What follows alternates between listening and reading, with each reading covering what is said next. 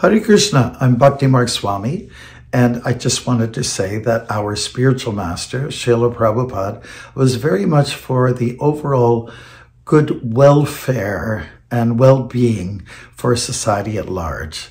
So in response to this, the Bhaktivedanta Medical Association is presenting its sixth annual retreat for health care, and that's held in DeLand, Florida for February the 2nd, 3rd, and 4th. There will be lots of great speakers, lots of good prasadam. We'll be discussing the Eastern and Western approaches to medicine. Overall, it's going to be a great experience, and I'll be there too. So uh, we hope to see you and make a presence as well. Thank you. Haribol.